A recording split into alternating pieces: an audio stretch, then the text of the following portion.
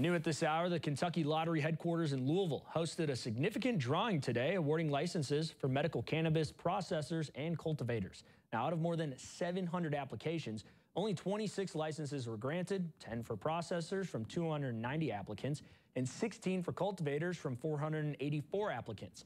Notably, three of these licenses were awarded to businesses in western Kentucky, one processing license in Muhlenberg County, and two cultivator licenses in Daviess and Hopkins counties.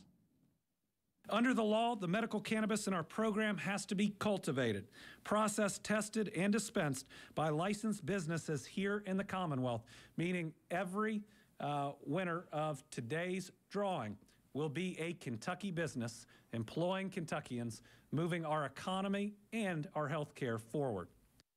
Now, this initiative not only aims to meet the growing demand for medical cannabis, but also provides a framework for regulatory compliance and public health safety in Kentucky.